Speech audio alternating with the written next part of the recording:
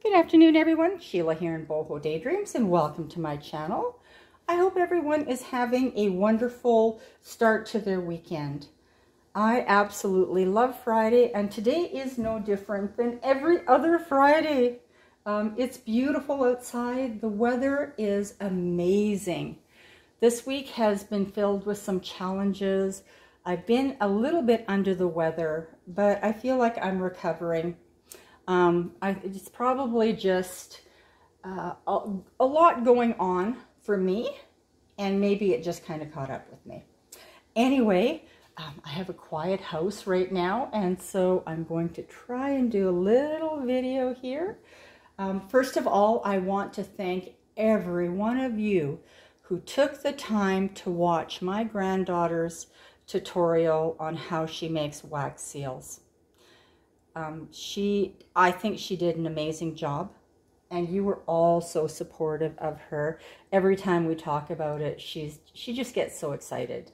And she is looking forward to making her dangles on video also. She doesn't really know what it means to be on the video, but when I tell her um, how she, how the compliments that she's received and the nice comments she just beams. And that just makes my heart smile. So I want to thank you for being so supportive in that. So um, what I want to show you today is how I make these little um, frames with their seals uh, because they fit so perfectly. And it's a little bit of a trial. You have to do it more than once. And quite possibly here on video, it's not going to be perfect, but it's going to give you an idea of how easy it is. Um, so I'm going to pop that off to the side. Oh yeah, here's two of them that I had also done. And they didn't turn out so well because I was trying to uh, see how much wax I needed to use. And it's always a hit and miss, but the thing with wax seals is you can always remelt them. Although I don't always do that, I like to keep them for other purposes in my um, little sweet peas. Also this week, I did something that I haven't done before, and I thought it would be a fun project for me and my granddaughter, but it wasn't really a lot of fun for both of us. we made paper, and it's a challenge and a half, but I think it turned out great as I was making them more and more, they turned out better and better. So they have to go into my paper smusher to really be flattened out nicely. But I think they turned out beautifully um, for the uh, for the tools I had on hand. So these ones here, they range from thicker to very thin.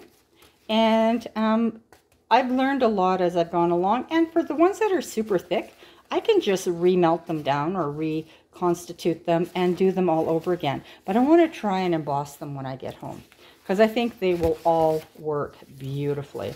I love the ripped edges on them already because that's going to be very um, useful. So these ones here are done in the avocado. I did, I had an avocado and I just um, added the avocado dye to the paper. And then I'm working on the white right now. And this is the very first piece that I made, which kind of turned out a little haphazardly.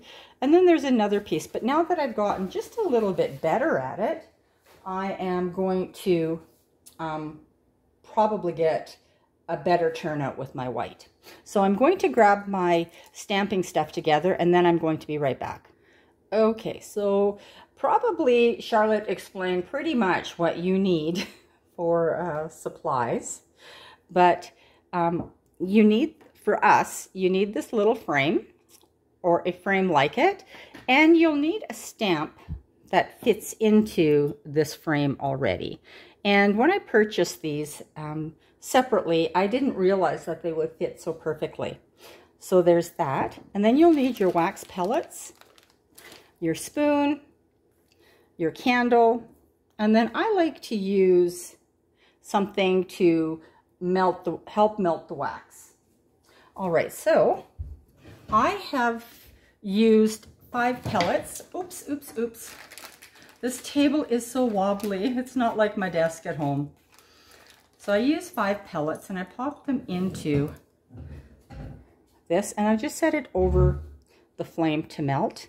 And it melts pretty quickly. But you can fast forward from here if you like.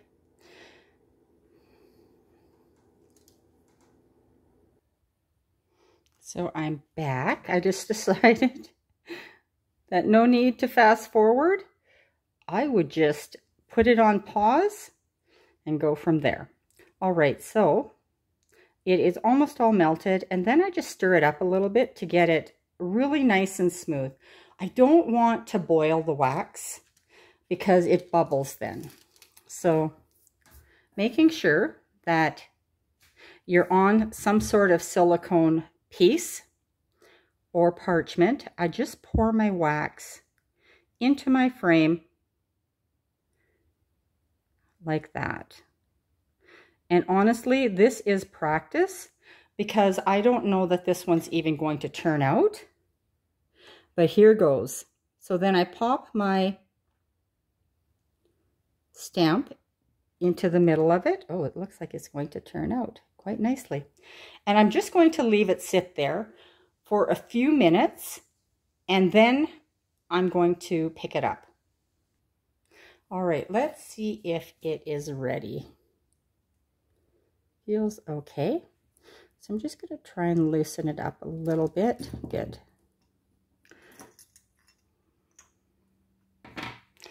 I'm going to remove it from here. You have to be careful because it's not quite dry. And usually it just pops right off. Oh, yes, it turned out lovely. Other than the little dot of soot. I have to be more careful. But yes, it did turn out perfectly.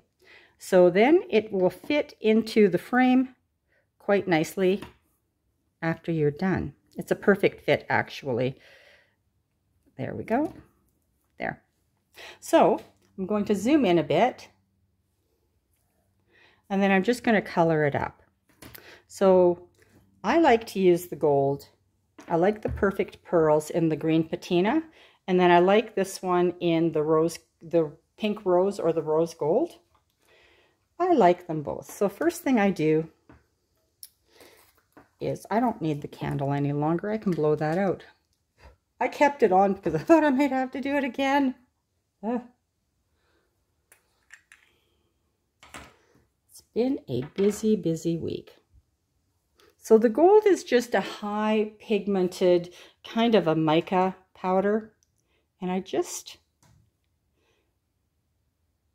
oops, this table is so wobbly that it just wiggles as I'm just not even touching it.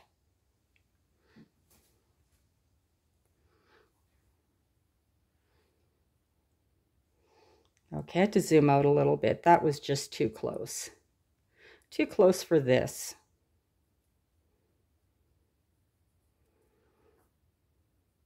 And by coloring it the gold, it just kind of blends right on in with the frame, which I just love. And then I take and I just touch up the inside a little bit with the gold, gives it a little bit of a vintage look to it. I love using these on my little sweet peas. And I know there will be a lot of other places that I can use it also. And then I'm just going to take a little bit of the pink gold and touch it up on the flower and a little bit of the green patina just for that.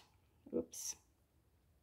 Most of the time you can get the excess off. There, just like that. And pop it into the frame. Oops. I don't have any fingernails. Makes it rather challenging. And there it is. Just grab a piece of paper to put it on.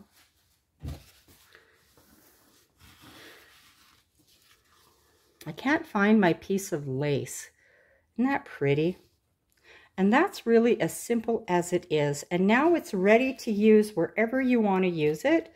And what I do is I glue it with the E6000 and that way it's not going to move at all. I hope that this has been helpful. Um, I wanted to do this sooner because several of you had asked, and it's just been a bit of a challenge trying to um, fit it all in when I have a bit of quiet time. Anyway, I hope you all have a wonderful weekend. Bye-bye.